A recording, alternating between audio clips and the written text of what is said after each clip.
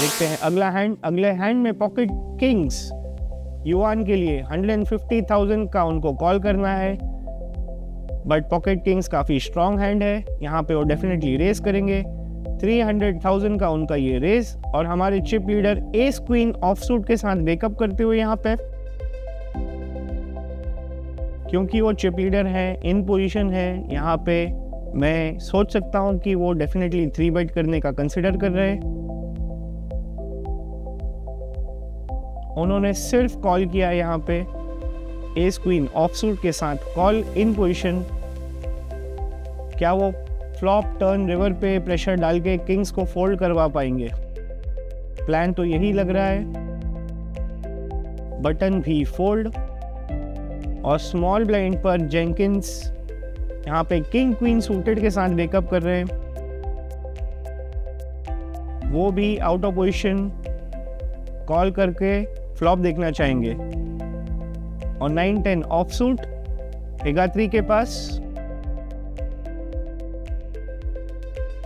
बहुत ही अच्छे pot out उनको मिलते हुए फोर वे एक्शन फ्लॉप पर काफ़ी एक्शन पैक ये hand pre flop four way action और फ्लॉप पे ace jack three ace of diamond jack of diamond three of hearts यहाँ पे सभी के लिए कुछ ना कुछ जेंकिंस के पास गट शॉट एगात्री ने अपना बिग ब्लाइंड चेक कर दिया है। पॉकेट किंग्स युवान के लिए एस हाई बोर्ड है। बट क्योंकि उनके पास प्री फ्लॉप बैटिंग लीड है वो ज़रूर रिप्रेजेंट कर सकते हैं यहाँ पे कि एस उनके पास है। डेफिनेटली उन्होंने 600,000 की एक सी बेट तीन ओपोनेंट जब होते हैं तो जनरली सी बेट काफ़ी स्ट्रॉन्ग रेंज के साथ ही की जाती है। और किंग्स डेफिनेटली उसी रेंज में आते हैं।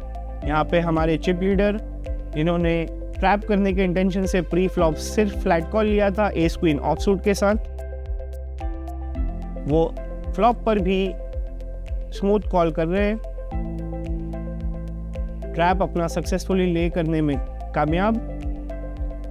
टर्न पे हम जाएँगे heads up kings versus ace queen और टर्न पर फोर ऑफ़ डायमंड तो हम देख सकते हैं कि युवान के पास पॉकेट किंग्स हैं, जिसमें से एक भी डायमंड नहीं है। King of spade king of club और हमारे चिप लीडर जिनका टॉप पर ऑलरेडी लग चुका है, अब टर्न पर उन्होंने एक फ्लश ड्रॉ भी पिकअप किया है। Second nut flush draw queen of diamond और 98 परसेंट फेवरेट और इनका ट्रैप का अंदाज़ा देखिए कि इन्होंने 98 परसेंट फेवरेट होने के बावजूद टर्न पे चेक बिहाइंड किया है। यहाँ पे युवान बहुत ही टफ स्पॉट में।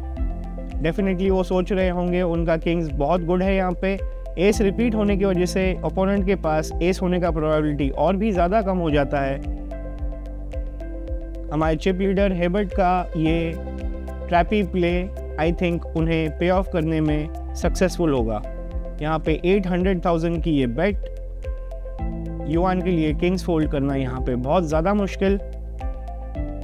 और वो किंग ऑफ़ डायमंड भी ब्लॉक नहीं कर रहे हैं। तो ऑब्वियसली हर्बर्ट यहाँ पर ब्लफ कर सकते हैं। और उन्होंने कॉल किया and he sees the bad news ace का three of a kind with queen kicker Hebert ने जो प्री फ्लॉप से ही ट्रैप बिछाया था युवान के लिए रिवर तक युवान उसमें फंसते चले गए और चिप लीडर ने अपने चिप का स्टैक और भी बड़ा बनाया।